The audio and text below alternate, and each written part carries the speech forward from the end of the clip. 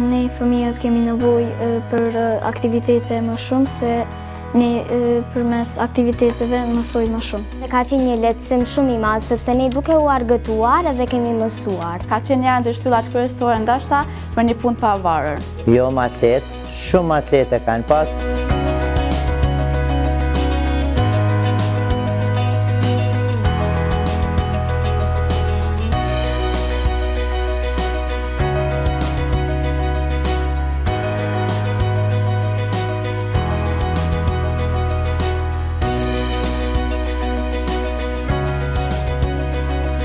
Mua më ka pëlqyer kur i kemi mësuar numërorët, edhe disa aktivitete, si për shembull patatja e skuqur. Ne duhet të formojmë sa më shpejt fjali me numëror, sepse patatja është e skuqur dhe ne nëse e mbajmë shumë në dorë do të na i skuq duart.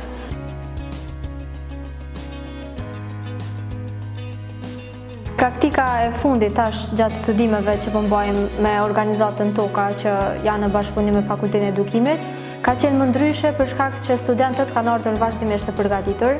Çdo javë kemi pas mbledhje përmes së cilave ne jemi trajnuar mënyrën qysh me i mësu fëmijët.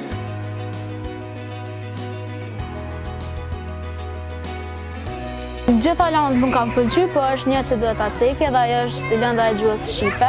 Ajo lëndë më ka pëlqyer sepse mënyra se si e kemi zhvilluar lëndën, ka qenë më atraktive dhe më e lehtë për ne që të marrim informacione për mësimin e caktuar. Nëse do të ishte vetëm efekti i risisë, do ta shihnim këtë efekt edhe te lëndët e tjera. Po pikërisht për shkak se është shfaqë efekti vetëm te lënda e gjuhës shqipe, Mundemi me konkludu që siç duket kurrikula e ka kry punën kryesore. M'ka pëlqy shumë bile edhe pjesa që kisha pas diçka me nda ka kon kur kanë hinë nxënësit gjithë n'klasë, m'kanë bë: mësuse a kemi një aktivitet, edhe e ka qenë pjesa që më ka pëlqy ma shumë, se mu më bëjke m'u ndi mirë, se fëmive ju pëlqeke që ajo mënyre ligjerimit. Në këto aktivitete dhe lojëra që kemi zhvilluar, kemi ngritur nivelin e dijes.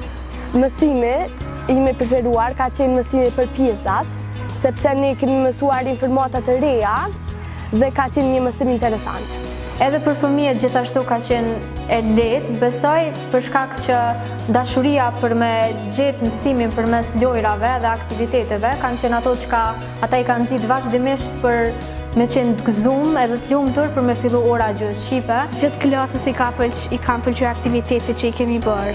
Një mësues që vjen me një plan, me një plan-program në orë mësimore, sigurisht që do të jetë një orë e sukseshme, edhe kjo është ajo çka e ka arritur TOKA, sepse ne vazhdimisht kemi qenë të gatshëm për ato çka kemi pasur për me jep në çdo klasë mësimore që secili student ka qenë. Kjo metodologji ka qenë ma e lehtë sesa mësimi klasik dhe ka qenë ma relaksues dhe ma argëtues për fëmijët dhe ma e kapshme. Sepse fëmijët nuk e kanë pas atë ndjenjen a po di apo nuk po di, po kanë qenë të relaksum edhe kanë msu përmes lojës.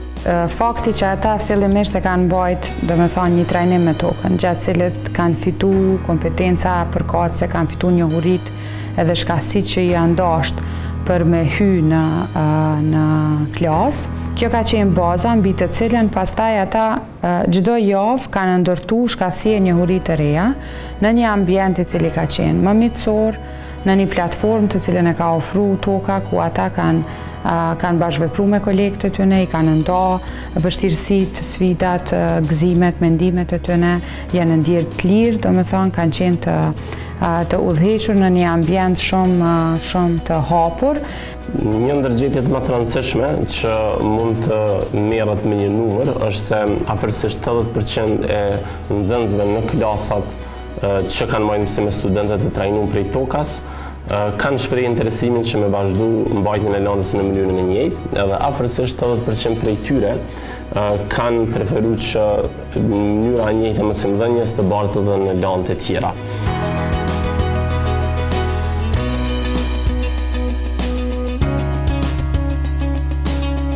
Padyshim që kjo metodologji ka qenë shumë ma e lehtë dhe shumë ma efektive, pasi që mësimi është zhvillu me mësimdhënien me nxënësin në qendër. Dhe këto aktivitete kanë bërë që në klasë me pas gjithëpërfshirje dhe çdo ditë e më shumë nxënësit të Të dëshirojnë ta mësojnë lëndën e gjuhës shqipe. Që gjithnjë të nisemi prej asaj idesë që t'i mësojmë nxënësit, sa janë fëmijë, për të mos i mësuar pastaj kur janë të rritur, se është më shumë e vështirë.